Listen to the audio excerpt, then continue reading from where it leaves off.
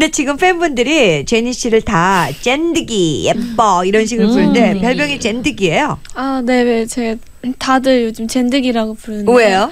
아, 언니가 지어줬어요. 예. 사실 저희가 옛날에 예. 같이 방 쓰고 할 때 이제 아침이나 이제 일어나기 좀 힘들 때 예. 제가 언니 침대 이렇게 누워가지고 막 아 안 일어나고 막 이렇게 찐득찐득 붙어가지고 놀았더니 언니가 막 어막 젠득이라고 이러다가 젠드기, 젠드기. 제 이름이 좀 워낙 이렇게 약간 제니가 한국 예. 이름이 아닌다고 생각하시니까 뭔가 젠득이가 더 입에 붙나 봐요.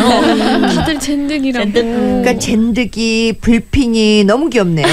여기서 우리 치수는 뭐 애칭이 뭐 있어요? 팬들이 어, 붙여준 거. 치추라고 치추. 많이 치추. 부르는데 네, 제가 예. 밀어붙였어요.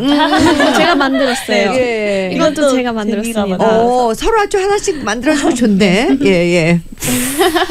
로제는요?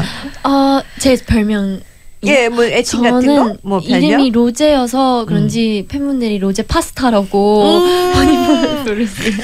로제 파스타가 비싸잖아요. 맛있고. 근데 안 예. 좋아해요. 안, 안 좋아요? 예. 랍스타 들어가고. 파스타를 어. 그러면 다시 바꿔. 아. 아라비아따로. 어, 여러분, 멋있어요. 여러분, 아라비. 아라비. 우리 아라비 로제. 아라비. 네. 리사는?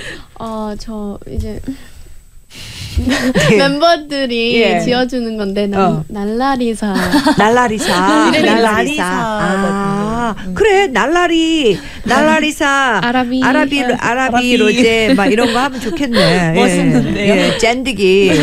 치초? 치초? 치추.